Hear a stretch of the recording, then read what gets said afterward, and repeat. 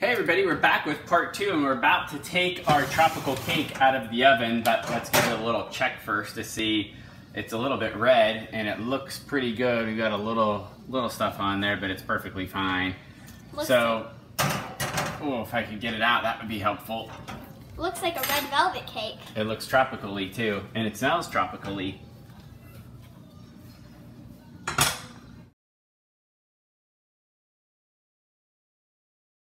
Hey everybody, we're back on Dad Does Videos and Pesky Pastries, and as you saw before we took out of the oven, but now Pesky Pastries has been so nice to actually frost this, and she put some special sugar topping type thing on here. Sanding sugar. Sanding sugar, apparently. So we're gonna cut it, see what this looks like. It, it smells very tropically. What about me? And we've got Madden something.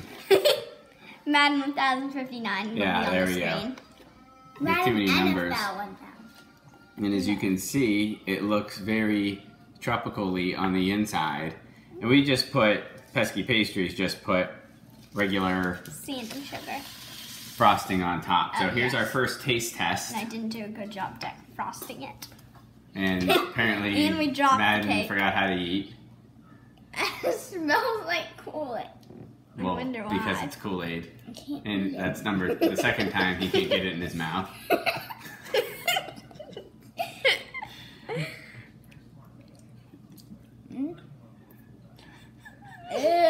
Apparently not so good.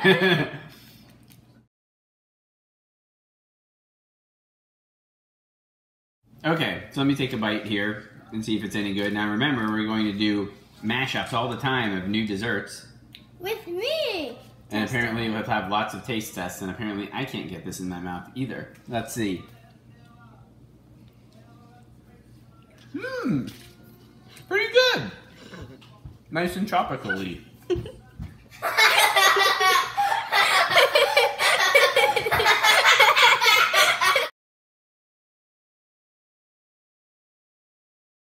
We're back, and we're gonna give Pesky Pastries a chance to try out our tropically dessert.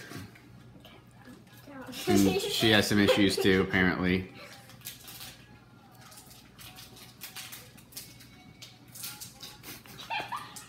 I might be the only one who likes this. Um, it's interesting. It's weird.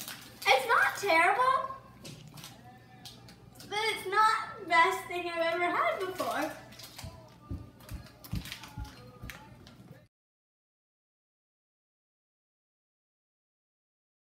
Okay, and now we've got the Bean Sims trying a bite now too to see if she likes our special tropical cake.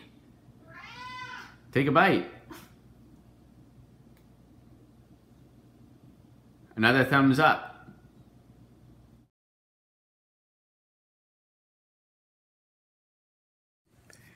Hey everybody, time for the verdict. We had one more person who chose not to be on camera because of undisclosed reasons, give the tropical cake a thumbs up. So that's three thumbs up, two thumbs down. That means it's worth you trying at home for this delicious treat. Stay tuned for more birthday mashups.